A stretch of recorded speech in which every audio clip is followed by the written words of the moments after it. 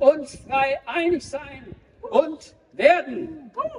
Die nicht ganz zu vernachlässigende Tatsache, dass dieses Camp für 10.000 Teilnehmer angemeldet war, war mir in dem Umfang selber nicht so bewusst.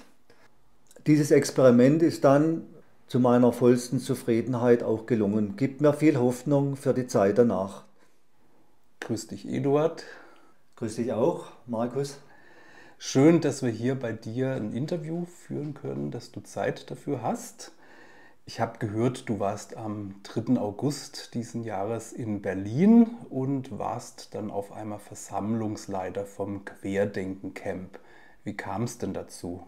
Ja, ich war nicht nur am 3. August in Berlin, sondern vom 3. bis zum 13. August. Und das hatte tatsächlich etwas mit diesem Camp zu tun mit einem Friedenscamp, das ich gleichzeitig auch als Querdenker-Camp bezeichnete, weil dieses Camp von Michael Ballweg angemeldet wurde. Angemeldet wurde für 10.000 Teilnehmer. Gegen den Widerstand zunächst der Versammlungsbehörde in Berlin. Unsere Kundgebungen, also die der Partei, als Kundgebung angemeldet. Und die Versammlungsbehörde musste dann in den folgenden Kooperationsgesprächen musste aus rechtlichen Gründen tatsächlich äh, zurückrudern. Das heißt, unser Ansinnen ist soweit durchgedrungen, dass wir eine Kundgebung machen dem, unter dem Schutz des Versammlungsrechts. Das habe ich Querdenken 711 dann auch so mitgeteilt.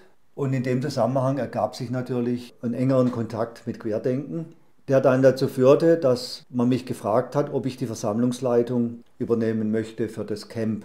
Dem habe ich nach einigem Überlegen zugestimmt, weil für mich dieses Camp, so wie es dann angedacht war, selbstorganisierend, ein Versuch war oder ein Experiment, das durchzubringen, was meine Partei, in der ich Mitglied bin, die Basisdemokratische Partei, in der Praxis zu üben mit Leuten, die sich zufällig aufeinandertreffen.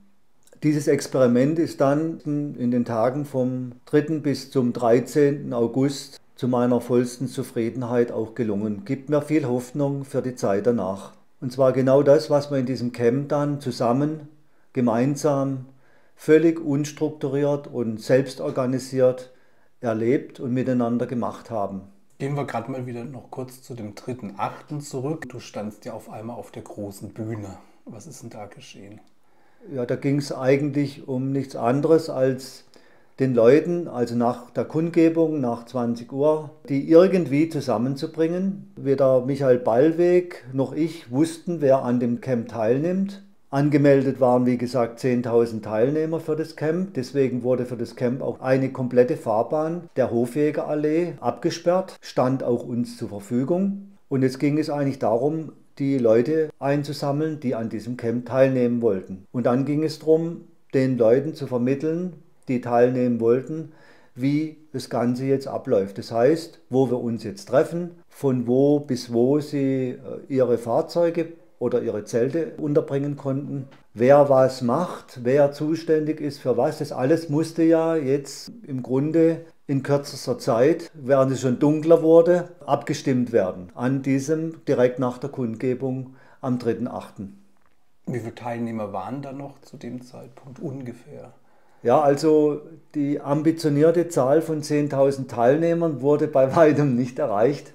Ähm, es waren nach meiner Schätzung etwa 25 Fahrzeuge und eine für mich nicht mehr zu bestimmende Anzahl von Teilnehmern, die wir dann auf einer Liste eingetragen haben, damit wir im groben einen Überblick hatten, was jetzt so auf dem Platz verblieb. Diesen Überblick war auch eine Anforderung der Berliner Polizei. Die wollten natürlich jetzt auch wissen, wer an dem Camp teilnimmt. Und das war vor Beginn der Nacht natürlich bei Beginn des Camps jetzt zwingend, das festzustellen. Auch das lief dann im Grunde selbst organisieren, indem ich die Leute gefragt habe über Mikro, wer hat jetzt noch Fragen und über die Fragen, die dann aus den, von den Leuten kamen, haben wir eigentlich so gut wie alle, alle Unklarheiten beseitigen können, ohne dass sich irgendjemand Gedanken machen muss, ob jetzt noch was fehlt. Das heißt, man hat natürlich geschaut, was jetzt zu tun ist, zu klären war, möglichst zur Zufriedenheit der Polizei und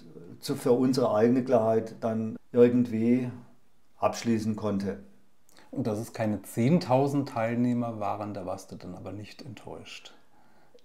Ich bin jetzt ganz ehrlich, ich habe ähm, die nicht ganz zu vernachlässigende Tatsache, dass dieses Camp für 10.000 Teilnehmer angemeldet war, ähm, war mir in dem Umfang selber nicht so bewusst.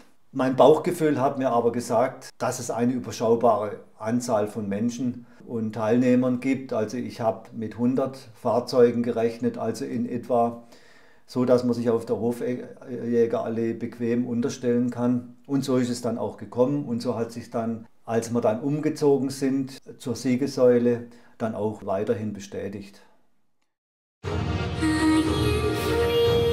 Lasst uns drei eins sein und werden.